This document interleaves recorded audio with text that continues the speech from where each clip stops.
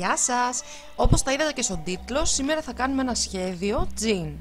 Πάμε γρήγορα να ξεκινήσουμε. Θα χρειαστούμε λοιπόν ένα σκούρο μπλε, είτε ημιμόνιμο είτε gel color, ένα ανοιχτό μπλε, ένα μαύρο, λευκό και nude.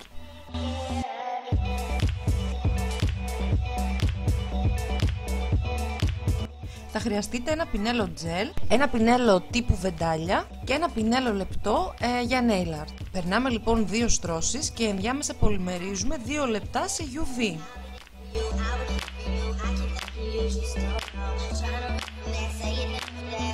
Και βουτάω μόνο την άκρη του πινέλου μέσα στο χρώμα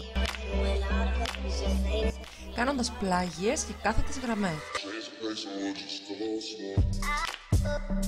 Μόλις τελειώσω πολυμερίζω για 2 λεπτά.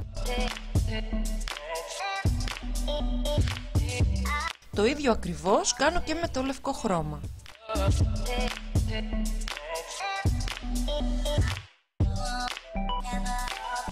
Και πολυμερίζω 2 λεπτά. Εδώ με το νιούτο χρώμα θα κάνουμε το δέρμα όπως ακριβώς θα ήταν ένα σκισμένο τζιν.